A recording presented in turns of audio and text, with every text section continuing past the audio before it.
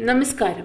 മോഹൻലാലിന്റെ മകനും അഭിനേതാവുമായ പ്രണവ് മോഹൻലാലിന്റെ പിറന്നാളാണ് ജൂലൈ പതിമൂന്നിന്. ഈ ദിനത്തിനായി അക്ഷമയോടെ കാത്തിരിക്കുകയായിരുന്നു ആരാധകർ. നേരത്തെ തന്നെ പ്രണവിന്റെ ചിത്രങ്ങളും പിറന്നാളിനെ കുറിച്ചുള്ള പോസ്റ്ററുകളും പ്രചരിക്കാൻ തുടങ്ങിയിരുന്നു.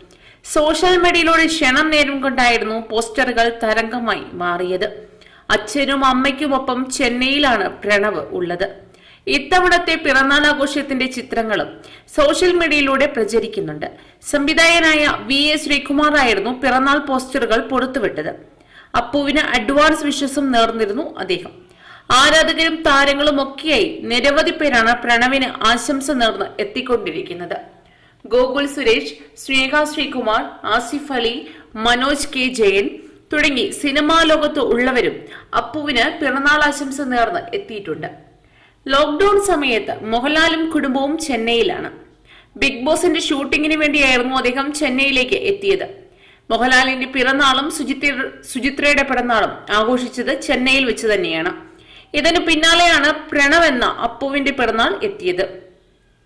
സുചിത്രയും മോഹൻലാലും സുഹൃത്തുക്കളുമെല്ലാം അപ്പുവിനായി ഒത്തുചേർന്നു. അതീവ സന്തോഷത്തോടെ കേക്കിന് മുന്നിൽ നിൽക്കുന്ന പ്രണവിന്റെ ചിത്രം ഇതിനോടകം തന്നെ വൈറലായി മാറിയിരിക്കുകയാണ് ഇപ്പോൾ. മകന് പിറന്നാളാശംസ അറിയിച്ച് മോഹൻലാലും എത്തിയിട്ടുണ്ട്. കുഞ്ഞായിരിക്കുമ്പോഴുള്ള ചിത്രവും ഇപ്പോഴത്തെ ചിത്രവുമാണ് അദ്ദേഹം പോസ്റ്റ് ചെയ്തിട്ടുള്ളത്. എന്റെ കുഞ്ഞുമകൻ ഇനി കുഞ്ഞല്ല. നിനക്ക് പ്രായമാകും തോറും നിന്റെ വളർച്ചയെക്കുറിച്ച് അഭിമാനിക്കാൻ മാത്രമാണ് എനിക്ക് സാധിക്കുന്നത്.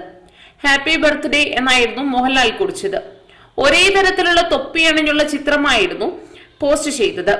പുതിയ ലുക്ക് കിടിക്കുന്നായിരുന്നു ആരാധകൻ പറഞ്ഞത്. പിറന്നാളുകാരനായ പ്രണവിന് സിനിമാ ലോകത്തു നിന്നും ആശംസ പ്രവാഹമാണ്. സിദ്ദിഖ് മനോജ് കെ ജയൻ ആസിഫ് അലി ഗോകുൽ സുരേഷ് തുടങ്ങിയവരും പോസ്റ്റുകളുമായി എത്തിയിട്ടുണ്ട്. ആദ്യയിൽ പ്രണവിന്റെ അച്ഛനായി അഭിനയിച്ചത് സിദ്ദിഖായിരുന്നു.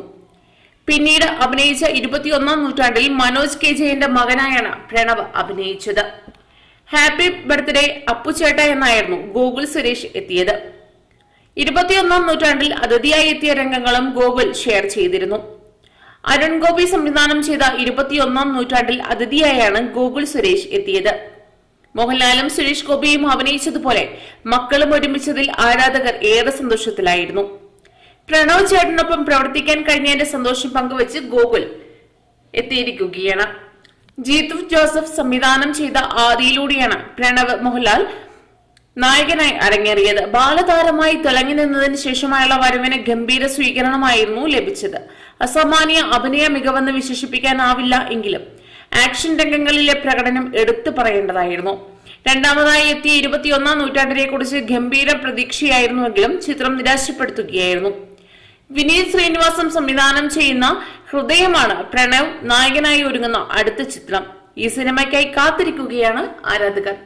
കൂടുതൽ വാർത്തകൾക്കായി ഈ ചാനൽ സബ്സ്ക്രൈബ് ചെയ്യുക.